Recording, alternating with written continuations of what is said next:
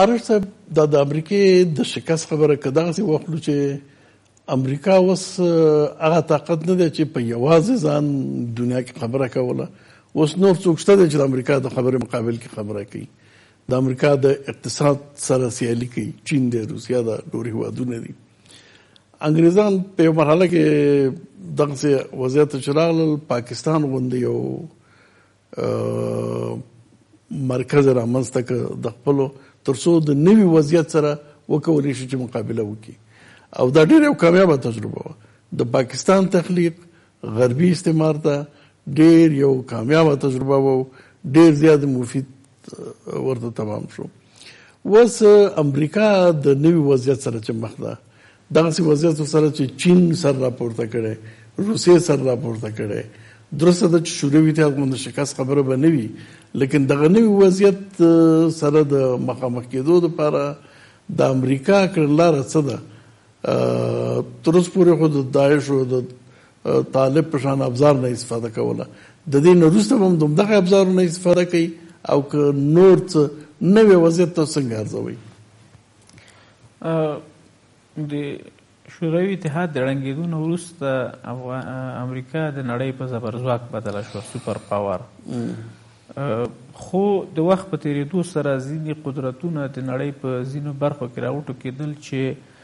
دغه زبرځواکي ننګولې ده، خو امريکايان اوس هم ځان د نړۍ زبرځواک ګڼي. اوباما چې کوم خط ټرمپ ته پرېښی و، د امريکايي سنتونو په اساس چې که ولسمشر ځي، نوي ولسمشر ته پټ خط پرېږدي او هغه خط کې ورته ځينې نصيحتونه ګويا کوي. هغه کې يو نصيحت دا و چې د امريکا زبرځواکي به تاسې ساتي. او بایډن چې کله تحلیف هغه کوو اجرا کوو نو دا ویل چې موږ به بیرته د نړۍ د رهبري نقش خپلوو چې په بل عبارت دا وایي چې موږ د نړۍ زبرځواکي ساتو دا یو خبره سمه ده چې چین په اقتصادي لحاظ په وده کې ده خو په ډیرو برخو کې اوس هم له امریکایانو نه شاته ده امریکایي ارزښتونه عام دي په نړۍ کې چین په ارزشي لحاظ په نړۍ کې منزوي هېواد ده یعنې چینايي ارزشونه غیر له چین او د چین په دا حوزه کې بغیر نور جه کې زیات خریدار نه لري خو امریکايي ارزشونه لکه دیموکراسي، انتخاباتو، ازادې رسنۍ او نور نور مسایل دا جهان شمول ارزشونه دي اده تر څنګ په نظامي لحاظ باندې اوس هم امریکا تقریبا ډیره فاصله له چین سره لري های تکنالوژي هغه لوړه تکنالوژي چې ورته وي هغه اوس هم امریکایان پکې ډیر مخکې دي نظر چین ته کومه ساحه چې دی په نړیواله سطحه باندې په په جهان کې لري پوځي اډې چې لري کوم نفوس چې اوس دی په جهان کې په هغه لري په هیوادونو لري او کوم نفوس چې دی په نړیواله سازمانونو لري لکه د سازمان ملل متحد آی ایم ایف او نور سازمانونه دغه نفوس اوس هم چین نه لري نو چین اوس هم یو څه وخت لري چې ځان ورسي د امریکایانو او یا په بل عبارت امریکا اوس هم کافي دلایل لري چې د یو ستر ځواک په توګه ځان وساتي. بلکل د ده برنامې وخت کم ده چې سړي ته ټول عوامل ویلي ول او په ده باندې تم شوي ول دا څیړل شوي ول خو یعنې سمه ده چې دغه زبرځواکي د نړیدو په حالت کې ده خو هغه ځایناستی هم اوس هغه حد کې نه ده چې دا نومره زر دا ځای ناست دی. نو موږ سره به څه کېږي؟ خبره دا ده اوس امریکا د افغانستان نه وتل غواړي، افغانستان دغسې یو موقعیت چې د چین، روسیې دې هېوادونو سره په سیالۍ کې امریکا ته ډېر زیات مهم دی، لیکن شک و تردیدونه دا دي چې نه امریکا وتل نه غواړي، د جګړې بڼه بدلول غواړي، وتل یعنې. د امریکا مداخله به ادامه لري نو څه غواړم یو خبره بل وکم په نړیوال اړیکو کې یو اصل ده چې کله په نړۍ کې یو نظم حاکم وي دغه نظم باعث کیږي چې په نړۍ کې هراج مرج او انارشي کم وي جګړې کم وي خو کله چې نړیوال نظم له ننګونې یا ګواښ سره مخامخېږي او دغه نظم ننګول کیږي بل نظم په ځای راځي ترڅو چې دغه یو نظم له منځه ځي او بل نظم حاکمیږي د دغه یو نظم په تک او د بل نظم په راتک دغه منځ کې چې کومه فاصله ده دلته په نړیواله سطح باندې جګړې ډیریږي رقابتونه ډیرږي او دا رقابتونه د آینده نظم د اثبات لپاره ځکه یو وړکی مثال ورکم که څه هم دا له سیاست سره ډیر اړخ نه لګي که تاسو لس پنځلس چرګان له بیلا بیلو ځایونو راوړي یو مرغانچه کې واچوي نو په اول ورځ پکې ډیر زیاته جګړه یو بل وهي خو سبا ته آرامي وي. که تاسې وګورئ، هغه تر ټولو ضعیفه چرګ مر ته ولاړي، کمې اوبه ورته رسېږي، کمه دانه رسېږي او تر ټولو قوي چرګ ښه جای سوري کې او ښه دانه ورته رسېږي. یعنې په اوله ورځ باندې د نظم، نظم حاکم کړي. بالکل، د نظم په سر جګړه بالاخره یو نظم رامنځته کوي. سمه ده چې اوس دغه یو قطبي نظم د زوال په حالت کې ده، ممکن آینده کې دوه قطبي یا څو قطبي نظم راشي، خو تر څو چې دا نظم پر نړۍ کې حاکمیږي، جګړې به ادامه پیدا کوي. متاسفانه نه تنها چې په افغانستان کې، بلکې په سیمه کې د نوي حاکمي هغه لپاره، نظم د ایجاد لپاره دا چې څوک څومره برخه ولري، اما د مارشایمر د خبرې کیک، کیک کې د چا برخه څومره ده، راغلو افغانستان ته، ډېر سړی که خوش باوره وي نو دغه هغه به وکړي چې ممکن دلته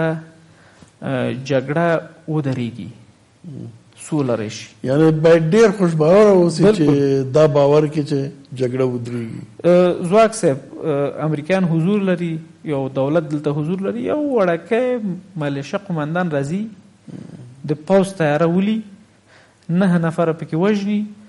وروسته بیا حکومت اعلانوي چې مونږ دا نیسو، یوه میاشت تیریږي، سړی قرار په د افغانستان په یوه برخه کې ناست ده، نشي نیولی. دا څه معنا لري؟ او بیخي یې د یاده لاړه د خلکو. هغه نه وروسته د هغه نه بعد یو بل نفر چې په کلونو کلونو یې کابل کې په اصطلاح ژوند کړی د حکومت کې مهمې دندې تر سره کړې دي د حزب رهبر پاتې شوی زی د افغانستان په یو برخه کې زر نفر ملیشو سره پیکاګانو سره راکټونو سره عکس اخلي مانا دا ده چې د دې یو نوې جبهې چې د مقاومت جبهه ورته وي د ده هغه کېږي د یو رهبر زوی راځي د یو نړیوال رسنۍ کوي چې دویم مقاومت پیلېدونکی ده د ده ترڅنګ تاسې د ملیشه سازي او بهیر ګورئ د هغه ترڅنګ د داعش په نامه دلته تشکیلات دي چې اوس بیخي خاموشه دي څوک د هغه په هکله هېڅ خبرې نه کوي مرموز قتلونه کېږي چې هېڅوک یې مسؤلیت نه اخلي ممکنه آینده کې یوه ډله راشي د مسؤلیت واخلي د هغه تر څنګ دلته طالبان په یو لوی سیاسي نظامي ځواک په افغانستان کې حضور لري، څنګه به امکان ولري چې که امریکایان ووځي، مثلا په یو لحظې لپاره فکر وکړو چې ووځي او دا قراردادیان هم لاړ شي، بیخي د دې دا مداخله دلته صفر ته ورسېږي، صرف موږ سره کومکونه وکړي، دلته یو نظم رامنځته شي. ډېره سخته به وي چې دا سیمه کې نظم رامنځته شي، دا په داسې حال کې چې دا داسې یوه مهمه سیمه ده چې د نړۍ قدرتونه او خصوصا سیمه ییز قدرتونه غواړي خپل رقابتونه دلته راولي نو د افغانستان یعنی د وضعیت غوښتنه دا ده چې افغانستان به بلکې مجموعاً جهان کې به بې نظمي او بې ثباتي ډېرېږي متاسفانه رقابتونه به شدت پیدا کوي اوس اوکراین یو یو ځای دی چې هلته روسانو یو لک پنځوس زره عسکر مستقر کړي دي همدارنګه په مقابل لوري کې غربیان او ناټو هلته خپل تحرکات زیات کړي دي، د تر څنګ په منځني ختیځ کې تحرکات دي، په یمن کې جګړه ده، د سوریې جګړه تقریبا کاملا له منځه نه ده تللې او مهمه خبره دا ده چې دغه د موږ او تاسې سیمه جنوبي اسیا دا ډیره مهمه او همدارنګه هغه شکننده سیمه ده، هیڅ معلوم نه ده چې آینده کې که دا بایډن وځي طالبان به دغه افغانستان په نظامي لحاظ باندې فتح کوي یا رښتیا هم دومره ډلې ټپلې چې افغانستان کې دي دې سره به جوړ جاړی کیږي هغه هم داسې ډلې چې چې وجودي شعاع به پنځه سانتي متره نه خو خاص به شل پنځه ویشت سانتي متره وي درست یعنی د انتشار عوامل چې دي دا ډیر زیات دي نسبت د یعنی د چې زبات عوامل فقری صاحب یو بل سوالم چې مطرح کیږي خلکو سره ټرمپ په دې متهم و چې یو طرفه معامله وکړله د افغانستان نه عسکر وباسي به د دې نه چې آینده ته فکر وکړي افغانستان بې ثباته کوي طالبانو برلاسی ته زمينه مساعده کړله لیکن بایدن خو دا غنم یو یو ګام مخکې لاړ او به د شرط او قید نه د عسکرو استل اعلان کړل ټرمپ خو یو څه شرطونه درلودل، یو څه شرایط وو، مثلا بین الافغاني توافق سره مربوطه وه دا خبره د امریکایي عسکرو وتل، لیکن بایډن خو هیڅ شرط و قید اعلان کړی نه دی او خپل عسکر وباسي. دا په خپله بې ثباتۍ ته د زمینې مساعدولو لپاره کار نه دی؟ ځواک صاحب زه فکر کوم چې ستاسو په دغه پروګرام کې ستاسو سره شې ستاسو سره ما ګر یو څوک میاشت په خوا چې بایدن اول سره راغی او د کابل دغه رژیم غنی او د اردستای چټکی کولې خوشاله کولې شام هغه وخت ما وویل چې دا خلک به په ټرمپ سي ارمان وکړي چې کاش هغه ټرمپ وي هغه ټرمپ لا شو بالکل بالکل بالکل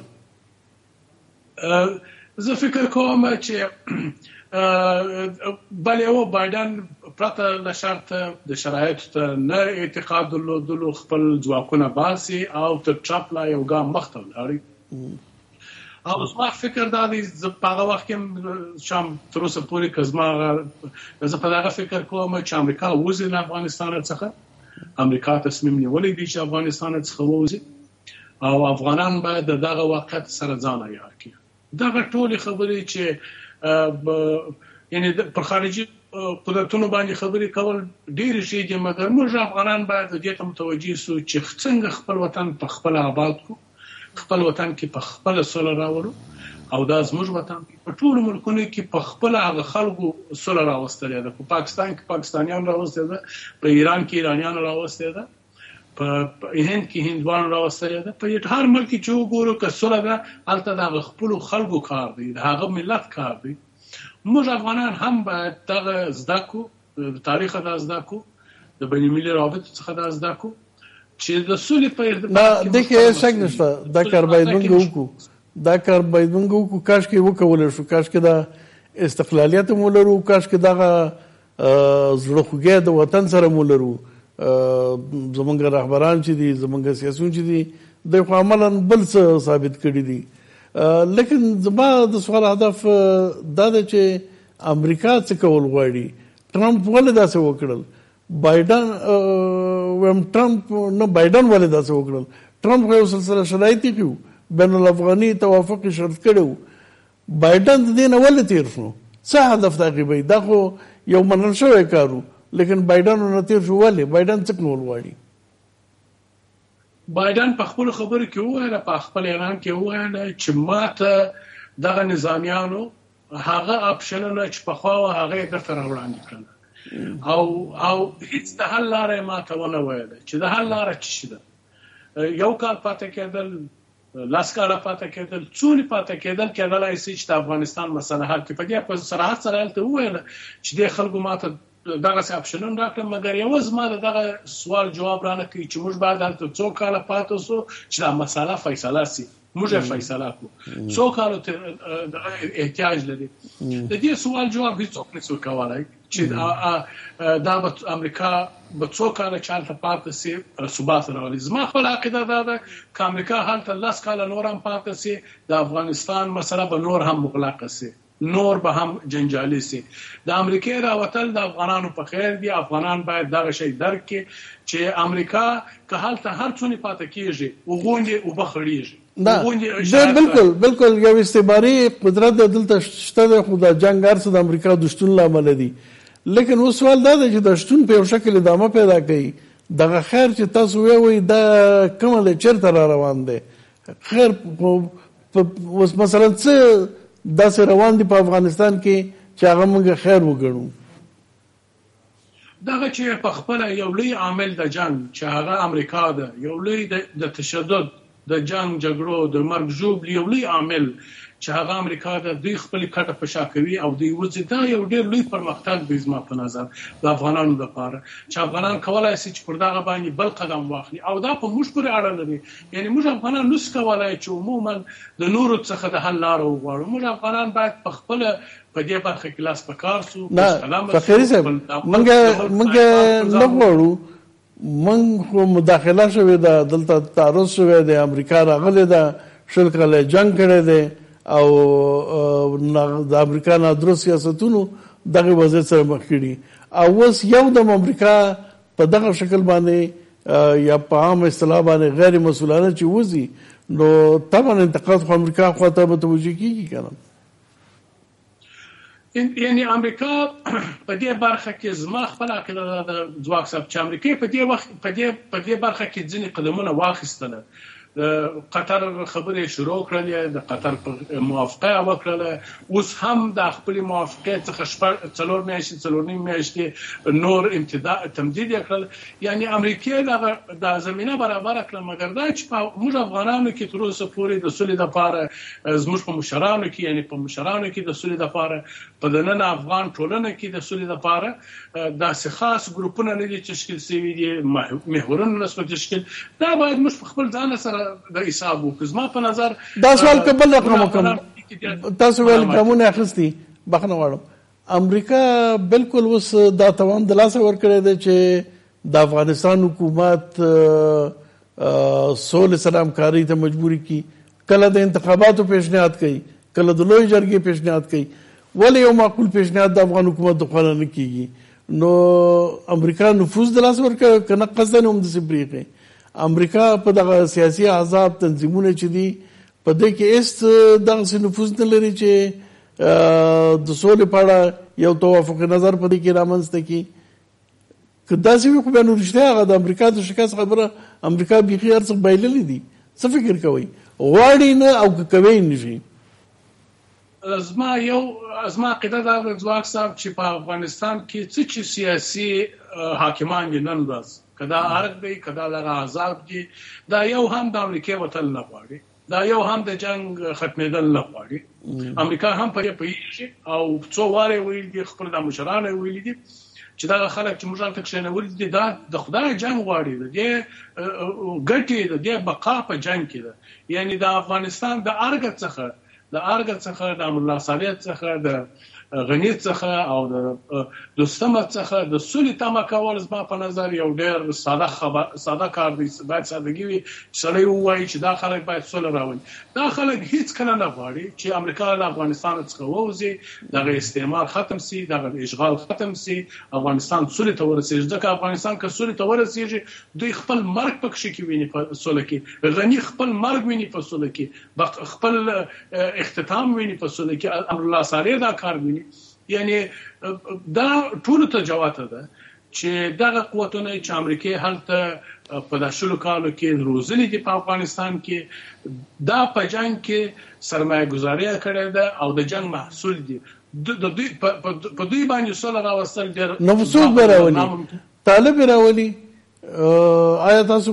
یو لار خو بیا دا پاتې کیږي چې طالب رژیم په یو طرفه توګه باندې د افغانستان په اصطلاح ټول حاکمیت د غیله است ورشي او کنه خو د سیاست په میدان کې هم دغه لوبغاړي دي چې شته بل څوک خوشته نه کنه هم دا تنظیمونه دي هم دغه تنظیمونه چې 1500 تورونه ور باندې دي ورشته منفي دي نه ور کړې هم دې دي او طالبان دي نو دا سوله به څوک راولي خو هم دې به راولي کنه که راولي او که نیت وي. یعنې یو یو یوه چاره دا ده چې ښایي زه بېرته اوس پخوا بل یعنې ښایي امریکا و دې ته مجبوره شي چې د طالبانو سره یک طرفه و یو موافقې ته ورسېږي او ټوله طالبانو ته خوشې کړي. په امریکې په مطبوعاتو کې هم دا خبره راوځي چې طالبان به بالاخره چې د امریکا نه راوځي په شپږو میاشتو تر یوه کال کې به که افغانستان ونیسي یعنې دا دلته داسې یو عامه دغه ده چې دوی راتلونکي دي طالبان راتلونکي دي حتما یې نیسي دا چې څه رقم یې نیسي ټوله په نیسي او که د یو موافقې د لارې نیسي دا یو په دغه دغه دی یو څه اختلاف د نظر ستا مګر ټوله په دې موافق دي چې طالبان راتلونکي دي او طالبان دا دغه نیسي حکومت نیسي نو دغه یو یعنی واقعا هم مګر یو خبره بل د ځواک صاحب چې افغان ولس هم یو قوت دی دا چې موږ افغانانو په دې برخه کې کار نه کړی دا چې موږ افغانانو په دې برخه کې خپل وظیفه نه دی اجرا کړې دا که څه د نن افغانان دي چې هغه ډیر مهم دي او دا چې څه د بهر دي موږ هم په دې کې ملامت یو چې په دې برخه کې باید موږ افغانانو د اول سره چې خبرې شروع سی وای پر څو محورونو باندې راټول شوي وای، محورونه مو ایجاد کړي وای او د سولې لپاره مو یو ولسي جریان هم شروع کړی وای. د یعنې واقعا هم موږ په دې کې څه حرامګاري کړې ده، ټمبلي مو کړې ده او دا مسوولیت موږ ته هم راجع کېږي. صحیح. په دې کې ولس او خلک هم ملامت څونه دی او بیوسه څونه دی پر ترتیب مسولیت دی مکلفیت یو چې دا کار باید کړی او چې متاسفانه تر اوسه پورې نه ده شوی ارش صاحب مخکې تاسو دا ویل چې افغانستان مهم نه دی د افغانستان شاوخوا مهمه ده امریکا دلته پاتې کیږي څه چې کوي هم په همدې خاطر باندې کوي چې شاوخوا سره رقابت د دوی څنګه وي او یا که وځي او افغانستان بې ثباتۍ ته سپاري هم په همدې خاطر چې د شاوخوا هیوادونو ورته اهمیت لري اوس د شاوخوا د هیوادونو غبرګون به څه وي افغانستان که ځي بې ثباتۍ خواته آیا شاوخوا هیوادونه امریکا باندې لازم فشار راوستی شي مجبوروي شي دغسې یو څه کولی شي چې افغانستان ثبات خوا ته لاړ شي او که نه دی ته هم یوه لاره پاتې کېږي چې په دغه جګړه کې دی هم برخه واخلي او دغه جګړه افغانستان کې محدوده وساتي خپل ځان د محفوظ ساتلو لپاره یو ستره نیابتي جګړه لکه سوریه او عراق کې چې وه دغسې افغانستان کې پیل شي کوم خواته منطقه روانه ده امریکایي متفکر او فیلسوف چې ژوندی هم ده جان مرشایمر وایي وایي که چیرته یو هژمون نړیوال هژمون د نړۍ په یوه برخه کې حضور ولري او په هر دلیل له دغه سیمې نه ووځي نو دغه وتل دا نړیوال هژمون ته ماته او هغه سیمه ییز هژمون ته کامیابي ده اوس که نړیوال هژمون امریکا وګڼو او سیمه افغانستان وګڼو که امریکایان دج نه وځي نو د سیمه ایزو هژمونونو ته لکه روسیه چین او ایران ته دا کامیابي ده او امریکایان ته ماته ول چې موږ په نړیوالو مطبوعات کې ګورو یا ځین وخت امریکایي مقابات وایي البته په تېرو شلو کلونو کې چې ایرانیان، چینایان او روسان د افغانستان په جګړه کې لاس لري، د ټرمپ په حکومت کې خو حتی دا وویل شول چې روسانو پیسې ورکړي چې امریکایان ووژني، حتی داسې راپور نه شو چې چینایانو پیسې ورکړي، که څه هم ټرمپ ویلي چې تر څو پورې نه ده ثابته شوې، خو مطبوعاتو د سي آی اې او د نورو په حواله وویلي. نو که امریکایان د سیمې نه وځي، ځواک صاحب، یعنې چورلټ، دا په سیاسي لحاظ او نظامي لحاظ دې ته ماته ده. صحیح. ایا دا ماته به دی ومني که نه، دی نه وځي که نه وځي دا یو بحث ده. دویم بحث دا ده چې که چېرته وځي نو کار. بخښنه غواړم دا منل یا نه منل یوازې نه دي، دلته پاتې کېدل په هر شکل وي هغه د نیابتي جګړې په دغه په شکل باندې چې دا کرایي پوځونو ساتلو په شکل هغسې پاتې کېدل به ورته ډېر قیمتي تمام شي امریکا ته. او یا ډیر زیان به ورته اړی او که مطلق وتل به ورته ډیر زیان اړی؟ اوس زه غواړم دا ووایم که مطلق د سیمې نه وځي نو امریکایان چې نړیوال هژمون و دلته یو څه نسبي امن او نسبي امنیت ساتلی و هغه کامله فروپاشي چې ورته ویل له هغه نه یې جلوګیري او ممانعت کړی و که وځي نو ممکن د ممکن خبره کوو چې دغه نظم وپاشل شي که دا نظم پاشل کیږي نو حتما جګړه رامنځته کیږي زه فکر کوم د سیمې هیوادونو یو کم دومره وړتیا او دا ظرفیت نشته چې د جګړې او د بحران په ټولو ښکیلو غاړو باندې دومره نفوذ ولري چې دلته یو نسبي ټیکاو راشي نو هغه اساسي مسله پاتې کیږي د تاسې خبره چې وم کړله چې ممکن ده دغه هیوادونه هم دغه سیمه کې او خصوصا افغانستان کې خپلې مشخصې ډلې ټپلې ولري ترڅو هغه د هغې په نیابت باندې جګړه وکړي او دغه جګړه سرایت ونه کړي نور هغه ته او په مقابل کې به داسې ډله روزل کېږي چې د جګړې ته سرایت ورکړي نو متاسفانه افغانستان به کېږي د جګړې میدان چې دا بده سناریو ده څوک کامیابېږي څوک ناکامېږي افغانان ناکام دي موږ به وژل کېږو موږ به د اور او د جګړې او د فساد مرکزي متاسفانه ډیره زیاته مننه کور مدان سلامت اوسئ ګران لیدونکو تاسو نه هم مننه چې تر اوسه پورې موږ سره وئ راتلونکي بحث پورې په خدای سپارم الله مو مل شي